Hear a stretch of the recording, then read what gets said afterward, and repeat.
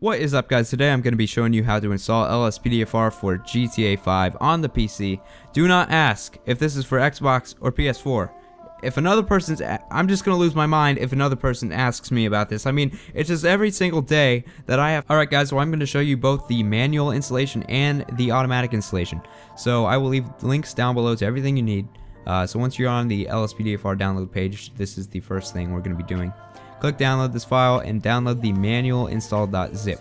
So uh, after you have that downloaded, go into your Steam library, uh, right click on Grand Theft Auto 5, go to properties, local files, and click browse local files. This is the easiest way to get to your directory in my opinion. There's, there's different ways to get to your main directory, but this is the fastest. Uh, so now you're going to want to open up the WinRAR that has all of your files in it, all of your manual installation files highlight all of them, and drag them into your main directory. So I already have it installed, um, so you won't get prompted.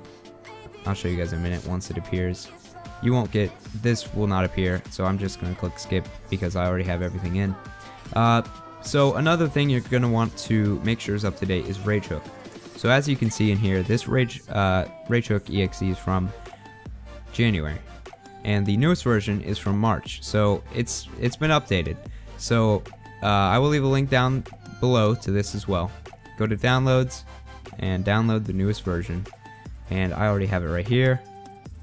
Um, and it's it's literally the same thing as LSPDFR. I mean, that's the way everything is uh, when it comes to the three things I'm showing you. So just drag it into your directory. And um, the last thing you'll need is Scripthook V and just click download and uh, drag these two files in, Scripthook and this one as well. You don't need Native Trainer. If you want Native Trainer, you can you can have it. It's uh, it's a thing that allows you to spawn vehicles in and, and whatnot. But I have a different one, so I'm not going to use this one. Uh, but just drag those in as well. So that's all there is to it for the manual installation of LSPDFR.